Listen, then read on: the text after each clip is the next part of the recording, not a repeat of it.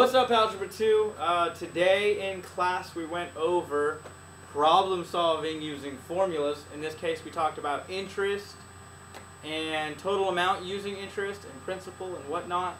And uh, so here's the problem that I brought up in class. If you borrow, borrow uh, $12,000 at an annual interest rate of 2.5%, then at the end of 10 years, how much will you owe? Because if you borrow that much money, probably for college or maybe even a car. Anyways, if you borrow a certain amount, you're going to owe more than that at the end of 10 years because of interest. Well, we have a nice little formula for interest. And it is I equals P R T. So I, that is the interest. Okay?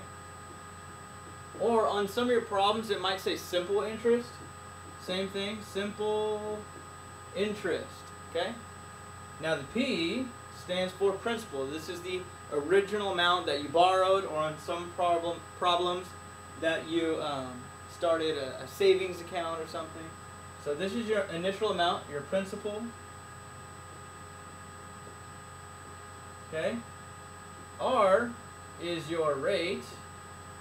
So in this case, the 2.5% is your rate, and T stands for time. Okay? These are called variables. They stand for something. So what we have to figure out are what are the variables? Okay? So I'm going to go ahead and erase these words. Again, interest, principal, rate, and time. So we're going to establish variables. The best thing to do on word problems, the first thing you want to do is establish variables. So, I'm going to go ahead and write it up here, I equals P, R, T. Well, we don't know what the interest is. We're trying to figure that out. We know that P in this case, your principal, the initial amount borrowed, is 12,000. Okay? The next one is R, rate. But I want to show you something. When you plug in rate into a problem, you cannot use the percentage. You have to use the decimal. So, what you have to do is you have to take this 2.5 percent and move the decimal over twice. So actually, we're going to use 0.025. So 0.025, this is our rate. Again, when it gives you percent, the way to plug it into the problem is you move the decimal over twice. Because percent is whatever that number is over 100. 2.5 over 100, which is 0.025. Okay? And lastly, time in this case, since we're talking about years, so we have 0.025, it's going to be 10 years. So there you have it. 10 years. So all we have to do, well, to begin with, is plug in.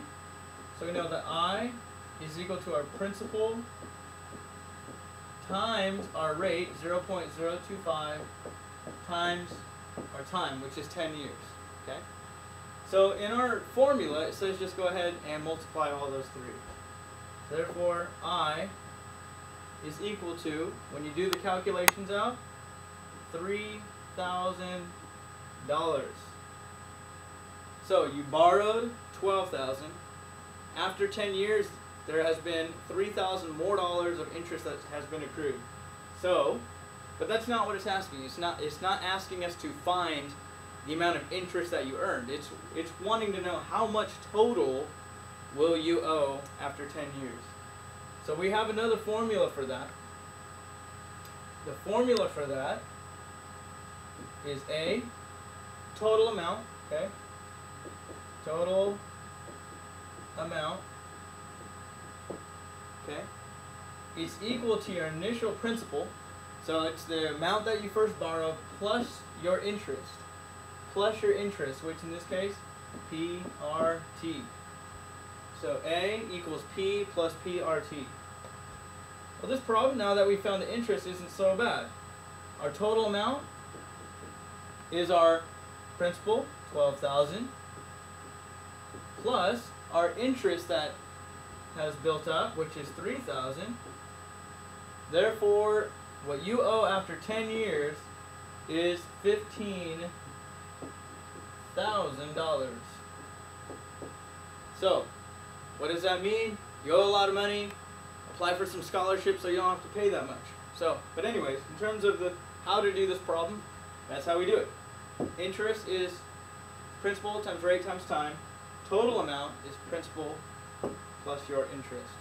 Okay? So hopefully this made sense. If you need, just keep going back and watching this over. The biggest thing I need to tell you again, just to keep in mind, is this 2.5%. When you plug it in to the formula, you need to plug it in as a decimal, 0.025. Move that decimal over twice. Okay? So good luck with that, and yeah, save up for college because that's a lot of money to be owing people. All right. Good luck with problems like that.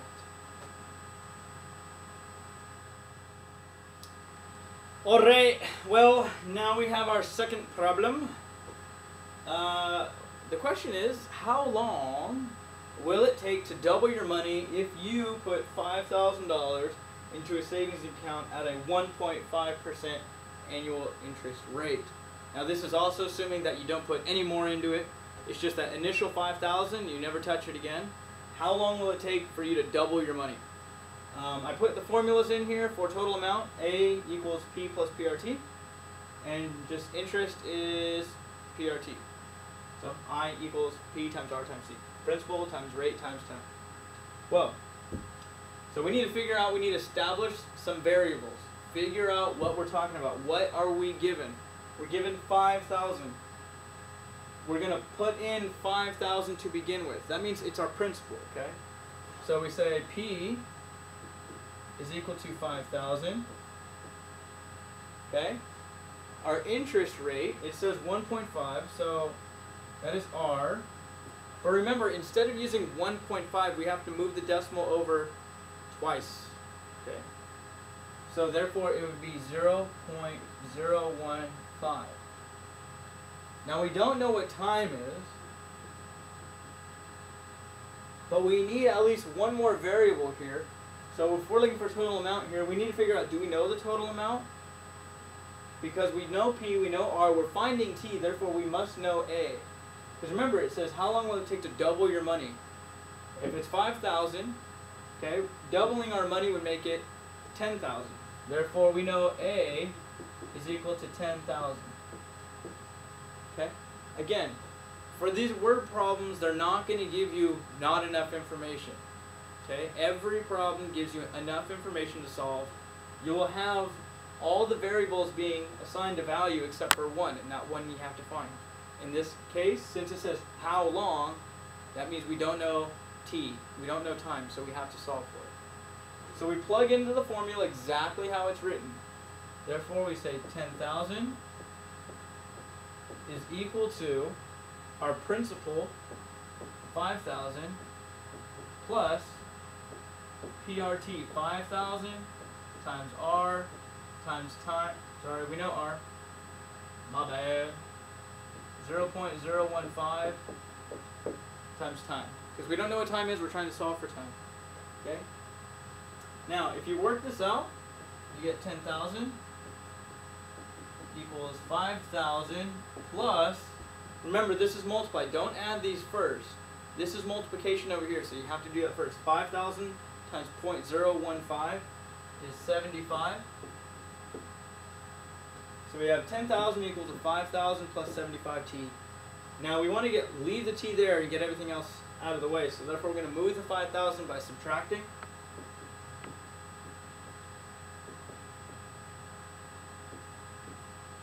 Therefore you have 5,000 is equal to 75t. And lastly, we're going to divide by 75. Therefore, t is equal to about 66.7 years. So what does that mean? What am I trying to say with this problem is that unless you started it at birth, you're probably not going to double up on that money. So don't expect it to double up. But if you're trying to figure out how long it would take, it would take 66.7 years to get from 5,000 to 10,000 dollars at a 1.5 annual interest rates. So, again, figure out what the equation you're going to use, figure out what formula you're going to use, establish a value for each variable except the one that you're trying to find. So that's what we did here. And once you do that, just plug exactly into the formula. Okay? Don't change the formula. That's why it's a formula, because it doesn't change. Okay? And once we plug in, we just solve for the variable that we're looking for. So hopefully you understood what we went over in class. If not, here goes the examples. If you need to watch it over and over, do that. If you need more help at school, just let me know. I'm always down to help you guys.